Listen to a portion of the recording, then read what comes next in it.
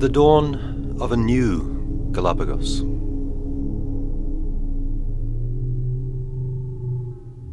Forever marked by these human beings.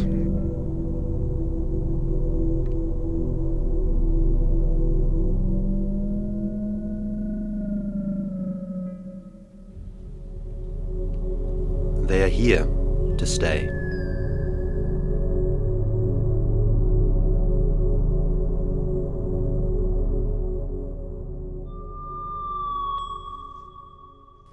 Their impact may be immeasurable.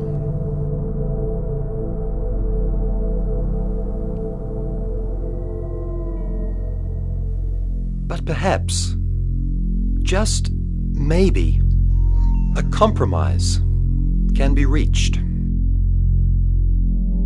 Is coexistence possible? A new breed of human is raising such hopes. Among the invasives, a kinder and more benevolent species is evolving. And it seems that they have come in peace. They are the friendly aliens.